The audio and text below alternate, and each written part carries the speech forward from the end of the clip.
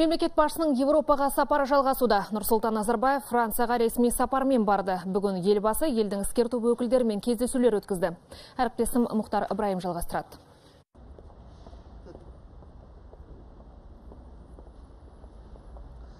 Нұрсұлтан Назарбаевтың Францияға сапары бизнесмендермен жүздесуден басталды. Президент бірден бірнеше кездесу өткізді. Елге инвестиция тартып, ықпалдастықтың аясын кеңейту үшін. Әуелі француз экономисі Жак Аталимен ор әңгімелесті. Сарапшы Қазақстан жетістіктерін жоғары бағалап, еліміздің дамған 30 елдің қатарына кіреріне сенім білдірді. Атап өту керек, Атали мен Нұрсұлтан Назарбаев 25 жылдан бері таныс екен. Мне очень важно вами было поговорить и встретиться как со старым другом. И я с вами хотел бы постоянно иметь контакт. Так что у меня в Париже есть близкий человек. Францияның Обер Дюваль компаниясымен серіктестік кеңейеді. Нұрсұлтан Назарбаев компанияның басшысы Джордж Дювальмен кездесті. 150 жыл тарихы бар мекеме таукен металлургия саласының көшбасшысы саналады. 2009 жылы біздің елмен серіктестік орнатты. Қазір Өскемендегі Титан магний комбинатымен тығыз қарым қатынаста. Аталған кәсіпорынның Титаны үлкен сұранысқа ие. Обер Дюваль сол Титаннан жасалған бөлшектерді Airbus, Boeing сияқты ұшақ құрастыратын компанияларға тасымалдайды.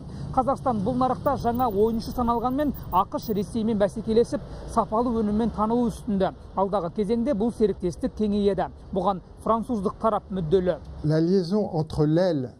Мына құйма қазақстаннан келеді. Бұдан біз бөлшектер жасаймыз. Мәселен ұшақтың есігі осы қазақтың титанымен қапталады. Қос қанаттың астында орналасқан қозғалтқышты да өскемен титаны ұстап тұр. Осылайша қазақстан титандары ең заманауи airbus ұшақтарында қолданылады. Бұл ұшақта біз өскеменде тұтас бір сала қалыптастырсақ деген ниеттеміз. Ұшақтың басқа да бөлшектерін шығару ойда бар. Ең бастысы біз титан бөлшектері қалдықтарын қайта өңдейтін өндіріс ашуды жоспарлап отырмыз. Бұл болашақта авиа өндіріске тағы бір шикізат алуға жол ашады Францияның мұнай алыбымен де қатынас тереңдейді. Нұрсұлтан Назарбаев Таталь компаниясының атқарушы директоры Патрик Пуянемен әңгімелесті. Еліміздің энергетика саласын дамытуға бұрыннан ат салысып жүрген концерн жақын болашақта Ақтөбе облысындағы Мұғалжар кен орнында геологиялық барлау жұмыстарын жүргізбек.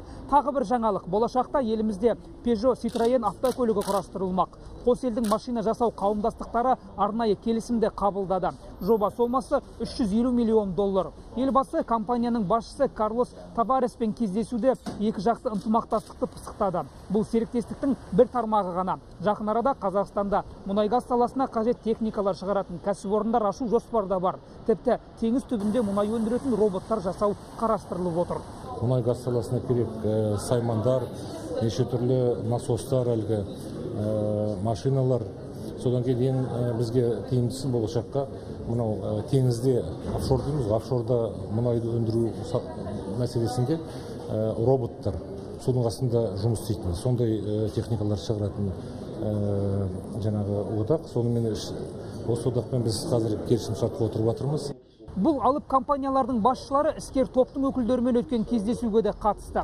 Франция индустриясының капитандары Карлос Таварес, Анри Пупар Лафарж, Бенджамин Ротшильд, Суфле Жан Мишель, Кристоф Шелие. Ұзын саны 20-ға жуық бизнесмен елбасымен бір стөлдің басында бас қосты. Мұндай деңгейдегі бизнесмендермен кездесудің мәні зор. Бір елдің емес, тұтас дүниенің дамуына ықпал етіп отырған кәсіпкерлердің беделі басым. Есесіне Франция Қазақстанның ең маңызды сауда серіктесі мен инвесторларының бестігіне кіреді. Многие из вас уже работают в Казахстане, хорошо знают возможности долгосрочного перспективного развития нашей страны. Например, 24 компании уже осуществили проекты в Казахстане более чем на 2 миллиарда долларов. 14 находятся проектов в работе и 10 в перспективе.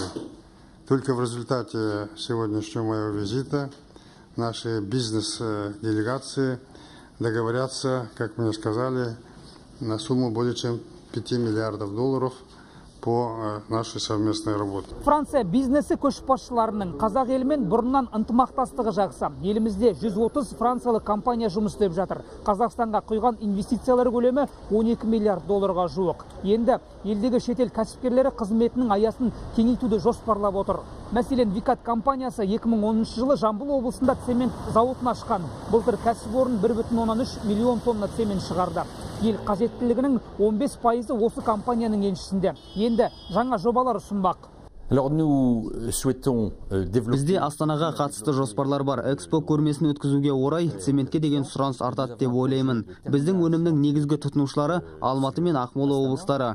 Бұл зауытты о баста қазақстанда салуымыздың себебі елдегі тұрақтылық. Оған қоса мамандары білікті. Қазақстан сапалы астығымен әйгілі. Біздің зауытымыз орналасқан аймақ өте әдемі. Бірақ жазы қысқа болғаны қиын. Бидайдың толық жетілуіне уақыт аз. Сондықтан астықты ең сапалы деңгейге көтеру бағытында жұмыс істеп жатырмыз. Бұл бизнес капитандар біздің елмен ынтымақтастықты арттыруға ниетті. Бүгін олармен жалпы сомасы бір жарым миллиард долларды құрайтын 13 келісімге қол қойылды. Бұл серіктестіктің жаңа сатысы деп түйдік. Демек дағдарысқа қарамастан екі жақты қатынас қарқын алады деген сөз. Нұрсұлтан назарбаевтың келіссөздері мұнымен аяқталмақ емес. Кешке таман елбасы франция президенті франсуа олландпен кездеседі. Онда да маңызды құжаттар қабылданатын болады.